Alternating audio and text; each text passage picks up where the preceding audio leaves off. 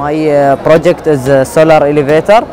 It's, uh, it's work with a solar panel and uh, here it's a battery to save uh, the clean energy and uh, there is no carbon. I will do it in the future inshallah uh, to the people to can use it when it's there is a fire or anything in the buildings. I will put the aluminium or the the sun steel uh, it's protect them from the fire and it will not happen to them anything when they can use it. Now i will show you how it's work.